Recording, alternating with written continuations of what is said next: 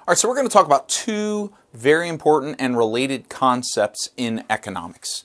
Uh, now, it can be very difficult to wrap your mind around these two concepts, so I'm going to do my best to give you a couple of examples and a definition to try and help you understand these, what we call them, economic laws. Also, as we go throughout the semester, as we encounter these laws, I will point them out to you uh, so that you can get a better understanding of these concepts throughout the entire semester. Okay? So here's what we have it's called the law of diminishing marginal benefit. So here's the thing whenever you make a decision to do something, you get, for the first time you do it, you get a marginal benefit. And a great example, I think, uh, is eating pizza. Okay, so let's say that you go to a party and you're hanging out with some friends and there's a lot of pizza there, and you can have all the pizza that you want because they bought a lot of pizza. You're hungry when you get to the party and you know there's going to be pizza, so you go to get one slice of pizza. So you grab a plate and you grab a slice of pizza. We're going to pretend all the pizza is the same. Whatever your favorite kind of pizza is, that's what all the pizza is, okay? So you grab one slice of pizza, and uh, when you eat that slice of pizza, when you eat that whole slice of pizza, you are getting a benefit. And the, the amount of benefit, or you know, we call it utility, uh, for for consumers, right? So that bit of utility that you get um, is makes you happy. It satisfies you because you've eaten food, right? And the little bit of or whatever amount of benefit, the little bit of utility that you get for eating that slice of pizza, that is the marginal benefit of that slice of pizza. And here's what economics says. Economics has this has this theory, okay, that when you go to eat a second slice of pizza, that that second slice of pizza probably will not give you exactly the same amount of satisfaction as the first slice of pizza. It will probably either give you more satisfaction or it will give you less satisfaction, okay? Because we believe, we understand that in most things in economics, uh, the benefit that we receive does not stay constantly the same all the time. Okay? Um, and so when you eat your second slice of pizza, maybe that one's even better than the first one was, and you get even more satisfaction out of it. But let's say that you go back and have a third slice of pizza, and then a fourth slice of pizza, and then a fifth slice of pizza. I know what some of you are thinking. Professor Ryan, I have never eaten five slices of pizza in one meal in my whole life. And some of you are thinking, hey, Professor Ryan, five slices of pizza, I'm just getting started, right? Okay? Because we're all different people, okay? We each have a different set of fixed circumstances in our lives, okay? Some of us are bigger, some of us are smaller. Some of us have a larger appetite, some of us have a smaller appetite, right? All right, so here's the deal eventually when we get to 6, 7, 8, 9, 10, 11, 12 slices of pizza, okay, now even those of you who are just getting going at 5 slices are thinking, Professor Ryan, 12 slices of pizza, that's too much in one meal. Now, if you pack up some of those slices and take them home to eat tomorrow, nope, that's a new set of fixed circumstances. Everything has changed now. The fixed set of circumstances are you are at the party and that's where you're eating the pizza. Okay, so um, you know, eventually you will begin getting less benefit from each additional slice of pizza. The benefit, the utility, the satisfaction that you are getting from each additional slice of pizza is going to get smaller and smaller and smaller. You're going to be a little less satisfied with the next slice, a little less satisfied, and eventually you're going to say, no more pizza. You are going to say, I don't want any more satisfaction from any pizza. I am done. And the reason you're going to do that is because of the law of diminishing marginal benefit. The little bit of benefit that you get from another slice of pizza will get smaller and smaller and smaller as you keep consuming equal size slices of pizza. So now let's look at our def definition with that little example.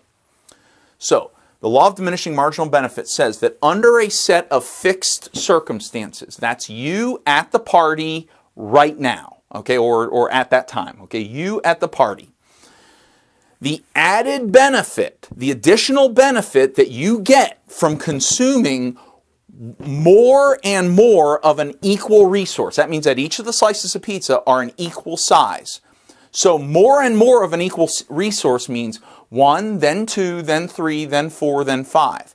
And, and the more that number goes up of equal size slices of pizza, the benefit, the benefit that you get will, here's our sentence, the benefit that you get will become smaller and smaller. You will get a little bit less benefit, a little less benefit, a little less benefit, a little less benefit, until eventually you perceive that you will get no more benefit from having another slice of pizza and you will stop eating pizza at that party. Now, the next day, you may want pizza again because your body's done its thing. It's the next day, you're hungry again, now you can eat more pizza. But that's a new set of fixed circumstances. Okay? So, when we are under limited circumstance just at the party, okay, the benefit that you get from each additional slice of pizza will become smaller and smaller with each unit of the resource added. And so this idea of the law of diminishing marginal benefit basically says that the more that you try to get a benefit from doing something, from some activity, you will, the more you do it, get a little bit less, a little bit less, a little bit less satisfaction in that fixed circumstance. And so what we have to do as decision makers in uh, as individual economists for ourselves is we should be cautious not to put all our eggs into one basket, not to commit all of our resources to one thing. And so, one of the things that we're going to learn about in the next couple lessons is the idea of splitting your resources across two or more things so that you can get more satisfaction by getting a mix of goods instead of committing all your resources to just one thing. All right, so here's another great example of the law of diminishing marginal benefit for a business. Okay, let's say there's a restaurant and they, uh, you know, they have a, a, kitchen where they cook food and they have uh, um, tables out in the restaurant, right?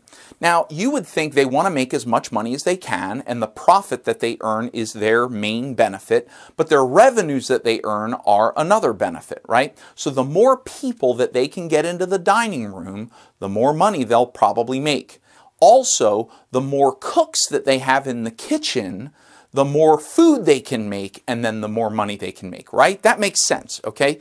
The problem is is that the restaurant is under a set of fixed circumstances. They only have so many so much room for tables and chairs and they only have so much room in the kitchen. They only have so many grills, they only have so many fryers, they only have so many tables, right? They have a limited amount of space in the kitchen and a limited amount of space in the dining room, okay? Now, what they could do is they could add cooks in the kitchen. Let's say they have two cooks back there. Well, you would think that if they added a third cook, they could cook more food. Absolutely. They could probably just buy some more food and then have three cooks to cook up that food. They can sell more food. They can make more money. They can increase their their benefit. They can get a little more marginal benefit, a little more revenue from adding one more cook in the kitchen. Well, why don't they add two more cooks in the kitchen? Now they have four. Or three more cooks. Now they have five. Let's move the number of cooks up to six, seven cooks, eight cooks, nine cooks, ten cooks. Why not have 37 cooks in the kitchen? Well, if you've ever worked at a restaurant, you know having 37 cooks in a small kitchen is not going to work out. They're all going to get in each other's way, and they're actually probably going to cook less food. See, here's what happens is that as you keep adding more cooks to the kitchen, eventually they start getting in one another's way, and the added revenue of one more cook will get smaller and smaller and smaller and smaller as you keep adding more cooks to the kitchen. Okay? Law of diminishing marginal benefit. Similarly, with tables and chairs in the dining room? Sure, you can add another table with eight more chairs or add another table with four more chairs. But as you keep adding more tables into the dining room, eventually you're going to run out of space. There's not even going to be a, a space for people to walk from the door over to their table. And therefore, there's going to be a limit to the number of tables that you can put in the dining room. And as you add one more table, sure, you may make more revenue, but the added revenue of the next table might be smaller because you're causing clutter. Your servers can't move as fast as they used to, and you can't serve people as fast. You can't get the food out there. People can't get to the bathroom and come back. They can't even get to the table or over to where they pay their check. They're all going to get in their way as you keep adding more and more tables. Therefore, the added benefit of one more table is going to become smaller and smaller and smaller because of the law of diminishing marginal benefit. All right, so now let's talk about sort of the other side of the coin, the law of increasing opportunity cost. Okay, uh, the law of increasing opportunity cost is basically uh, the opposite of the law of diminishing marginal benefit because in the law of diminishing marginal benefit, the resource or the cost that you were that you were consuming was the same every time. With each with each layer every time you did it one more time it was the exact same amount of a resource that you were using. And the thing that was changing was how much benefit. So now the thing that's the, it's it's the reverse. Now you're trying to get the exact same amount of benefit with each round. Every time you make a decision, every time you add to that decision, or every time you do another step, for one more in that decision, you want the same amount of benefit every single time. Well, here's what the law of increasing opportunity cost says is that if you want the exact same benefit every single time, then every time you do it, it's going to cost you a little bit more and a little bit more and a little bit more. Here's our definition. Under a set of fixed circumstances, so it's a business, and it's the business, it's got the same number of trucks, the same number of buildings, the same square footage on the buildings, okay? Those are fixed resources, okay? Under a set of fixed circumstances, if you want to receive the same amount of benefit, and that's the key, is that you are trying to achieve the same amount of benefit. It's not okay for the first time that you try to do something for you to win 10%. And then the second time you do it, you only win 7%. And the third time you do it, you only win 3%. That's the law of diminishing marginal benefit right there. You keep doing the same thing over and over, but every time you do it, you get a little bit less added on, okay? No, this time you want to go out and the first time you do this thing, you want to win 10%. And the second time you do it, you want to win 10% again. And the third time you do it, you again want to win 10%. You don't want diminishing marginal benefit. Well, here's what this is saying is that when you try to do that, if you want the same amount of benefit repeatedly, then each round of the equal benefit will require higher and higher costs more and more resources each time. It's going to cost you more every time that you go out. Here's a, a business example. Let's say that there's a business that wants to uh, uh, try to get out there and, and do a lot of sales and marketing and stuff. They want to increase their market share by 5%. So they spend $4 million on marketing and advertising and sales, and they do. They succeed. They increase their market share in their industry by 5%. They grab 5% of the pie, right? Well, they say, hey, we have another $4 million. Let's get out there and get another 5% of the market share. Economics says it doesn't work like that. Now, the law of diminishing marginal benefit says that if you want to go spend another $4 million, you will get, you'll probably get more, but it won't be 5%. The next time you go out, it might be 4% or 3%. Law of diminishing marginal benefit. But if you're sitting in the meeting and you say, what's it going to take to get another 5% market share? Well, economics, the law of increasing opportunities cost says it's going to cost more than $4 million. Okay, now you might have to spend six or seven million dollars to get another 5%.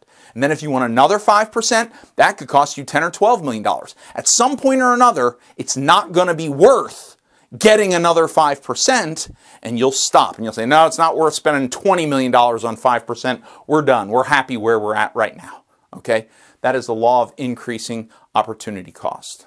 All right, so here's a little uh, chart. It's like a cheat sheet that can help you basically understand uh, the law of diminishing marginal benefit and the law of increasing opportunity cost.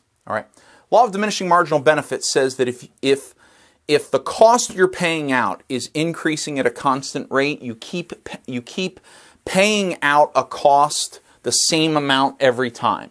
We're paying out $20, then another $20, then another $20, then another $20, et cetera, et cetera, that if you do that, you know, and we exchange costs for benefits, then the benefits that you receive will increase, but in smaller and smaller chunks. Okay? So as the costs increase at a constant rate, the benefits, they increase in smaller and smaller amounts. You will get smaller and smaller amounts of benefits if you, if you keep paying out the cost at a constant rate. But the law of increasing opportunity cost says this. If you want a benefit to be received at a constant rate, I want the same benefit every single time, then the cost of achieving the same benefit each time you do something the cost is going to increase in larger and larger amounts. The costs will be more and more and more. Eventually, the cost will become prohibitive and you won't be able to get the next chunk and you'll just stop, okay? So, that is the law of diminishing marginal benefit and the law of increasing opportunity cost.